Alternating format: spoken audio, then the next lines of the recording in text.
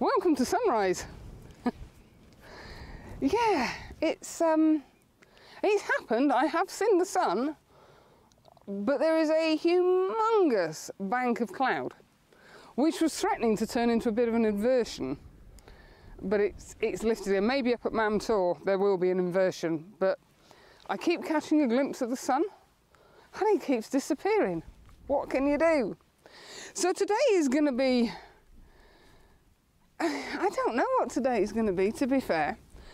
I've given up any hope or any thoughts, excuse me, it's a tad on the breezy side, of getting the big camera out because there's no light and I've come out specifically to try and shoot the heather before it dies off and I think it's already turning. There's been some beautiful displays as I've driven up here this morning and it is a carpet of heather for as far as the eye can see, which isn't very far this morning, let me tell you. So I've just got the phone out thinking I'll just play around and see if I can find a composition so that should should the light actually appear need to stand off the edge of the cliff um, I'll be ready with a composition. I know I've gone out of, I've gone out of shot haven't I? Um, and it's I don't know it's almost working. I've come across this little clump with the intention of, of shooting this as the foreground and then that as the background because that is as I say is just a carpet of heather. It's beautiful with these amazing boulders sticking out of it. If the light ever came through and it did appear fleetingly then. So it's yes it's a bit of an odd one but the phone is an incredibly useful tool for playing with compositions. I've got a composition here. Oh no, I've just moved. See, that's the advantage of having a tripod. Uh, I don't tend to use a tripod when I'm using the phone. Is you can just tweak things. That's probably what I want. I'll, I'll do a piece through the phone just so you can see what it is that I'm sort of lining up.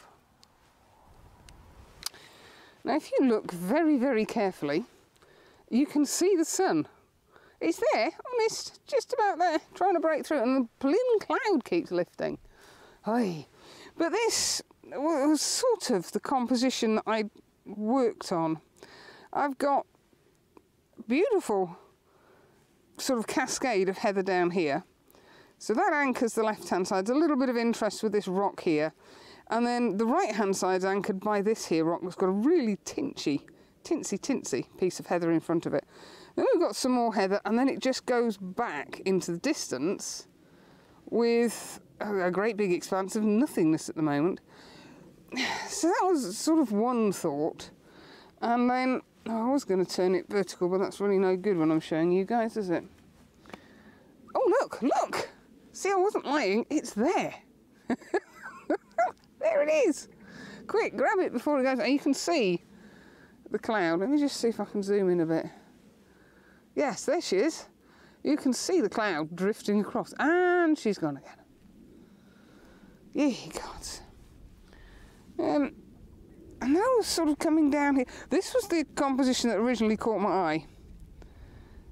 I'd have to use the wide angle lens. So I've got the rock coming in down here we've got heather and it all sort of leads through including this big rock out here if that bank of cloud ever lifts there's a lovely array of heather over here and then we might get some decent cloud detail but it's not looking very likely is it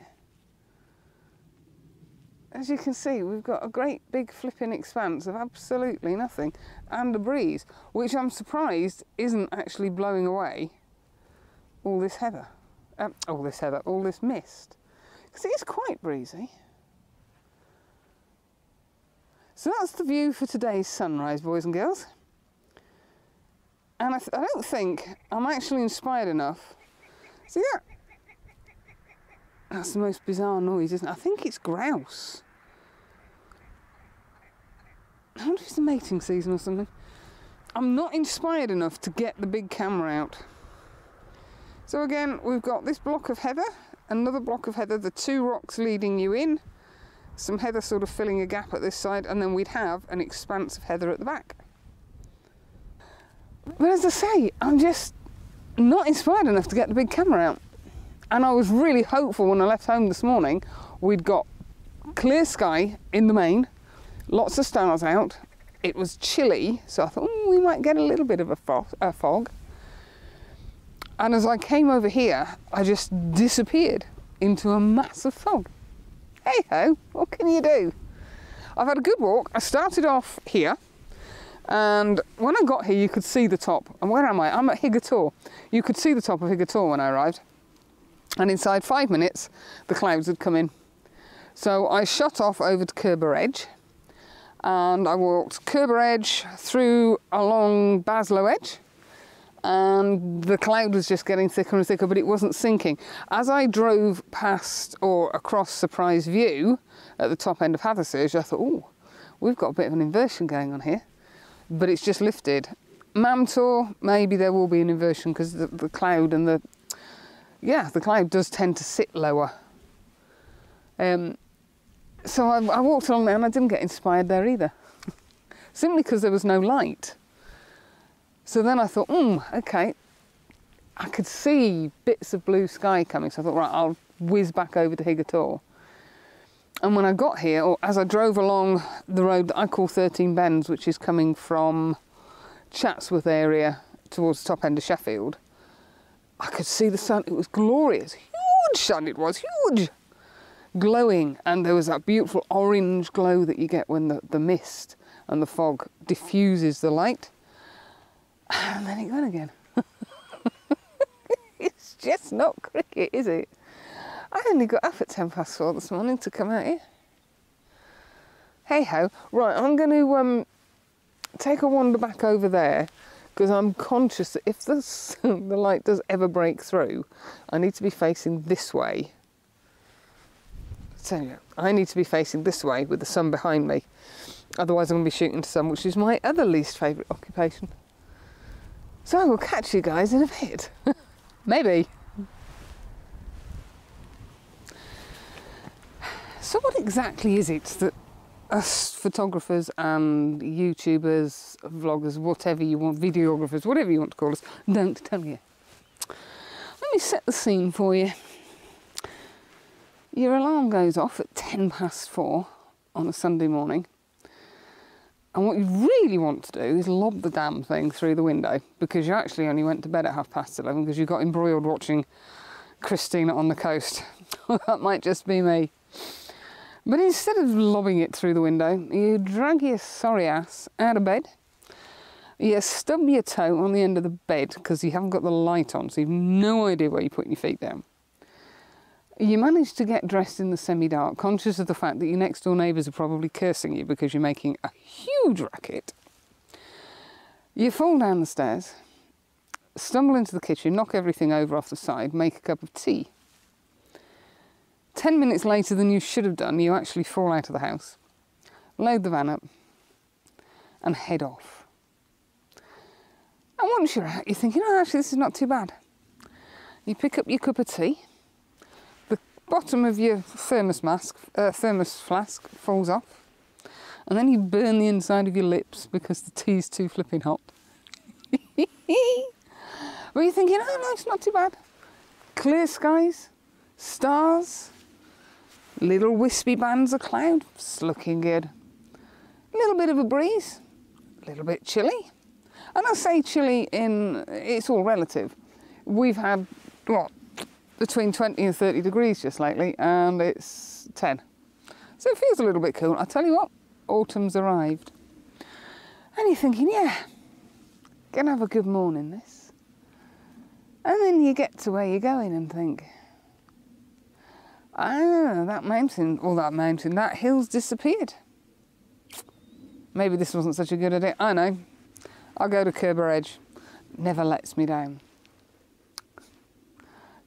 people over to Curbar, it's only another 20 minute ride. People over to Curbar Edge, get out. A really good walk along Curbar Edge. Cross through uh, Baslow Edge. There's no sign of the sun. So you think, oh, the light will come in a minute.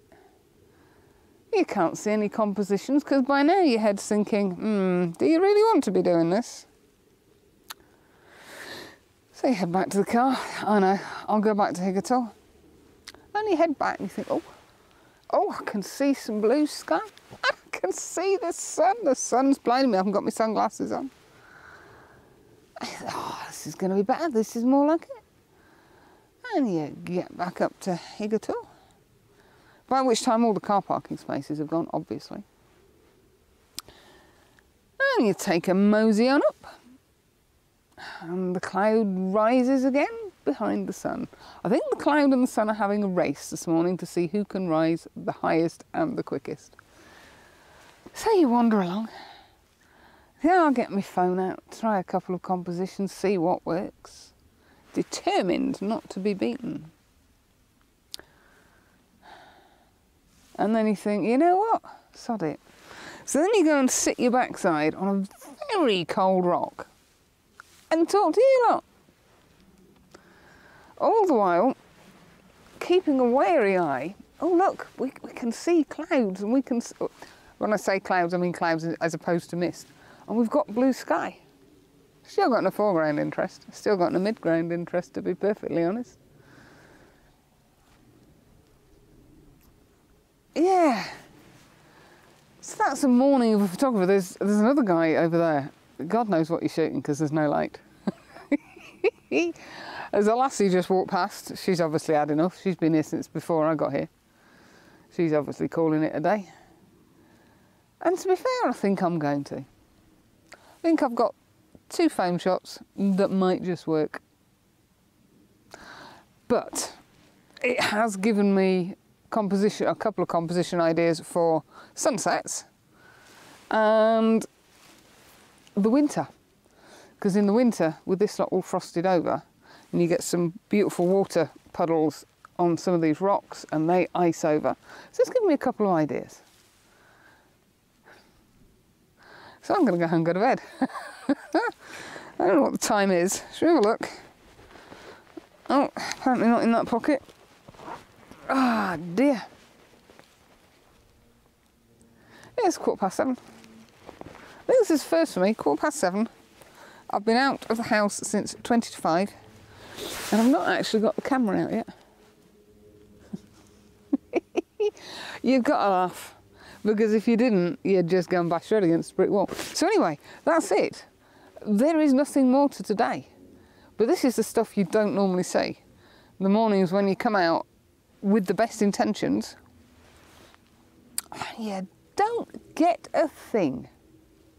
Except a couple of really rubbishy foam shots because I've got a Samsung A70 something or other and it's rubbish at photography. But then again, I didn't buy it to take photos with, I bought it to make phone calls with. So I'm going to have a little scout around, see if I can find any likely compositions, and then I'm going home. So if you think it's all rainbows and unicorns and stunning sunrises and beautiful seas, you're very sadly mistaken. Catch you next weekend. Bye!